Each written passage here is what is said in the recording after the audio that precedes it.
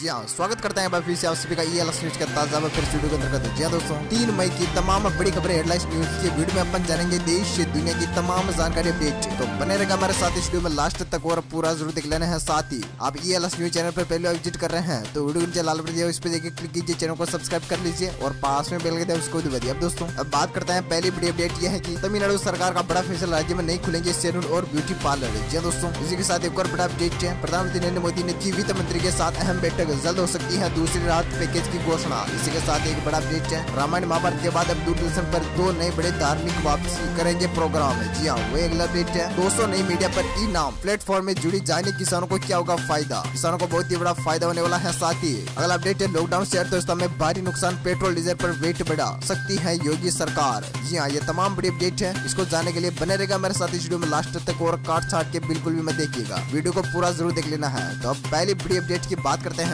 तमिलनाडु सरकार का बड़ा फैसला, राज्य में नहीं खुलेंगे सैलून और ब्यूटी पार्लर। जी हाँ लॉकडाउन के दौरान देश भर में जिलों में तीन जोन है। वही दोस्तों रेड अलर्ट ऑरेंज अलर्ट और ग्रीन इन्हें बांटा गया है रेड जोन में देश के 130 ज़िले हैं ऑरेंज जोन में, दो सौ चौंतीस और ग्रीन जोन में 319 ज़िले शामिल है। ठीक है तो अगला अपडेट देख पा आप। प्रधानमंत्री नरेंद्र मोदी ने की वित्त मंत्री के साथ अहम बैठक जल्द हो सकती है दूसरे रात पैकेज की घोषणा? जी हाँ देख पा रहे आप। प्रधानमंत्री नरेंद्र मोदी ने, हमारे prime minister of India Narendra Modi ने शनिवार को गृह मंत्री अमित शाह और वित्त मंत्री निर्मला सीतारमण के साथ प्रमुख मंत्रियों के साथ बैठक की है। न्यूज़ एजेंसी पीटीआई के मुताबिक इस बैठक में कोरोना वायरस में महामारी को लेकर रोकने के लिए लॉकडाउन प्रभावित क्षेत्रों में दूसरी राहत पैकेज की घोषणा की चर्चा हुई है। इस बैठक में वित्त मंत्री के साथ अधिकारी भी शामिल हुए हैं। वही दोस्तों, क्या पैकेज जारी हुए हैं? राहत के तो सरकार कोरोना वायरस को राहत देने के लिए अधिकतम चार लाख करोड़ रूपए, यानी की साठ अरब डॉलर तक खर्च कर सकती है। तो अच्छी बात है, इसकी वजह ऐसी सरकार को इस बात की आशंका है की एक सीमा ऐसी अधिक राशि खर्च करने आरोप उसकी सॉवरेट रेटिंग घटा जाएगी। वही इसमें देश की अर्थव्यवस्था आरोप बहुत बड़ा असर पड़ेगा, वित्त मंत्री। अधिकारी ने कहा की हमें पहले ही जी के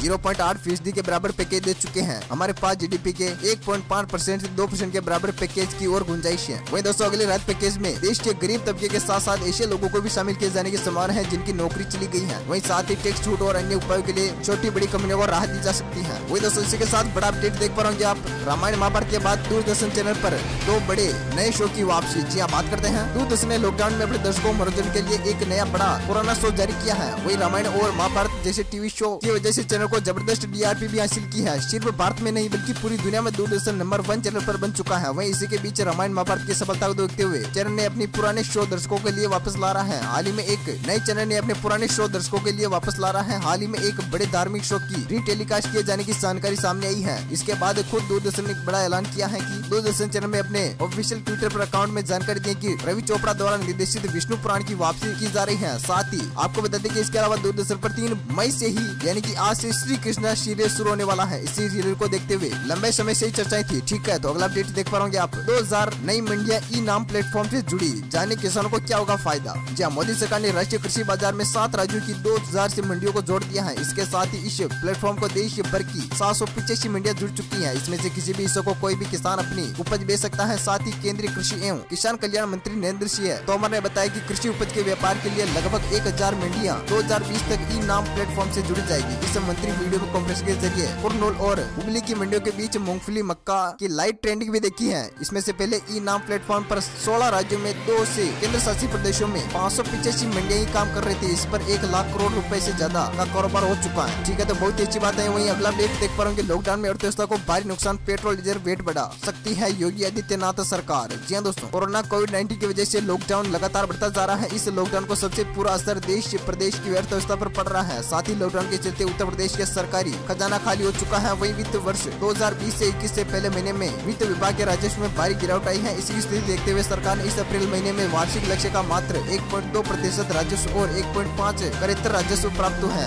वहीं दोस्तों, मामले में वित्त विभाग ने अब घाटे में पालने की कोशिश में लगा हुआ है। साथ ही सरकार का अतिरिक्त संसाधन जुड़ने की कोशिश कर रही है। साथ ही सरकार ने गैर ज़रूरी खर्च में भी कटौती कर दी है। वही वित्त विभाग अब पेट्रोल, डीजल पर वेट बनाने को लेकर भी विचार कर रहा है। तो दोस्तों उम्मीद है जानकारी अपडेट आप सभी को वीडियो में जाने को मिल गई वही दोस्तों, आप E L S news channel पर पहले विज़िट कर रहे हैं तो वीडियो नीचे लाल बटन उस पर देखिए क्लिक कीजिए चैनल को सब्सक्राइब कर लीजिए। पास में बेल दिया उसको भी दबा दिए ठीक है गुड बाय जिनके तो वंदे मातरम, जय किसान। मिलते हैं अगले वीडियो के दौरान। थैंक यू दोस्तों।